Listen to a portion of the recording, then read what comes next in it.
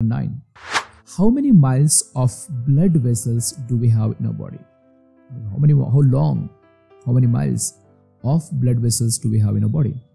Is it 15,000 miles, 1600 miles, 60,000 yards or 60,000 miles? The correct answer we have 60,000 miles blood vessels. Friends, our bodies have approximately 60,000 miles of blood vessels.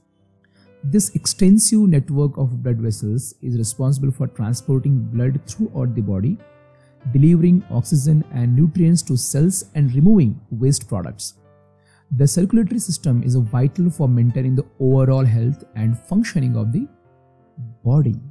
So, the 60,000 miles is the blood vessels of our body.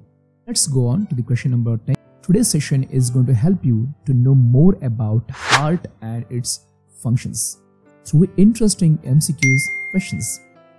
Friends, if you're very first time on this channel, please do subscribe, hit the like button at the end of the video if you like the video.